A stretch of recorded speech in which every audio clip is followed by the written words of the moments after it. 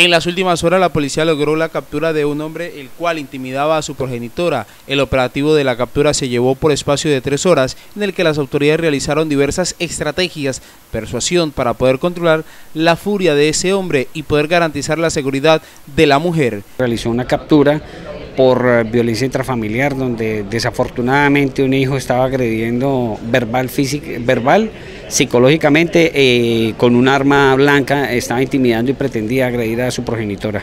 Entonces fue dejado a disposición de la Fiscalía por estos delitos. El capturado deberá responder ante las autoridades por violencia intrafamiliar y tentativa de homicidio.